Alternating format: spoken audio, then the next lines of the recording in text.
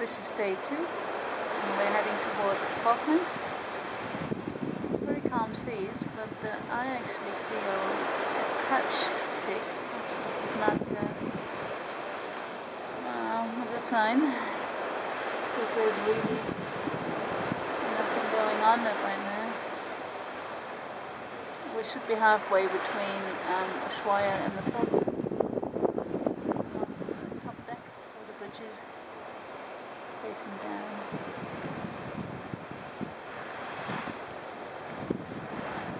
Um, obviously, it's a deep water fish. It's got very large eyes and very obvious bioluminescence along the side there. So they particularly enjoy their feeding. Oh, did I put it off?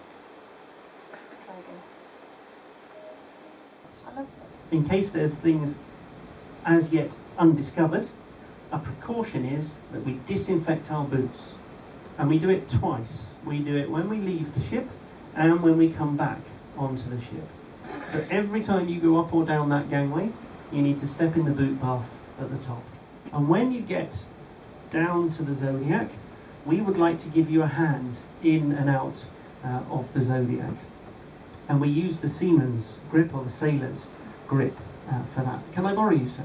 Can you stand up for me, please? So the sailor's grip is we hold wrist to wrist. You can hold onto my wrist uh, like that. So please accept help, even if you are young and athletic like this gentleman here. please accept help uh, getting in and out of the zodiac in that fashion. It's very firm and sturdy. Thank you. You can let go now. Strong hold. Just shake my hand now. Don't do that. This is for business meetings only. Okay. It's Valentine's Day. Is the light on? Have to switch it up. And uh, we got white chocolate mousse au chocolat. Helen wanted mine too, but I'm not uh, passing it on. Go ahead. Awful. Awful.